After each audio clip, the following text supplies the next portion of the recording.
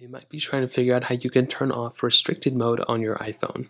Now, restricted mode is basically when you can go ahead and let's say you're trying to watch a video or you're trying to open up an app, but it just tells you the app is restricted. Now, you have to keep in mind that you have to at least be the owner of the iPhone and you have to at least have the passcode of your iPhone. So keep that in mind, either the passcode or the password associated with your iPhone. If you don't, let's say your parent or your guardian has like, you know, kind of locked apps, there's not really a way to circumvent this. There is a way that I'll tell you at the end of this video because it's not even worth doing. But essentially what you want to do, if you're the original owner, all that, you want to go and open up your settings application of your iPhone. You then want to go ahead and go down into screen time, which is right here.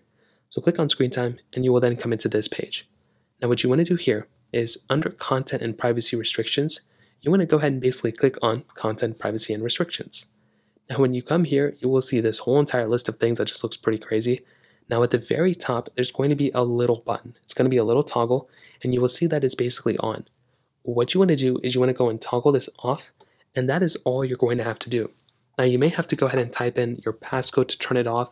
If there's a screen time passcode, you have to turn it off or whatever the case is.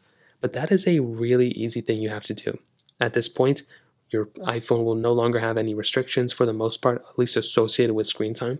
And that is basically the main way to do it. If you want to as well, you can go ahead and go back here and you can even turn off screen time if you want to. You can, you know, screen use a screen time passcode if you want to, but you can also turn off screen time here too. Now, let's say you can't remember the passcode or there's an issue and you can't do it or whatever. The only other way for the most part is to hard factory reset your iPhone. So to basically put your iPhone in DFU mode and then go ahead and factory reset it. I don't really recommend doing that at all because you're going to delete everything on your iPhone. So just I wouldn't even recommend doing it. It's just a thought if you're you know in a dire need and you need to get access to your phone. Other than that, though, you're way better off of just finding out your screen time passcode and then kind of going from your iPhone that way. So that pretty much covers it up. If you have any other thoughts or questions, let me know in the comment section below. Hit the like button, that would mean so much, but definitely hit that subscribe button.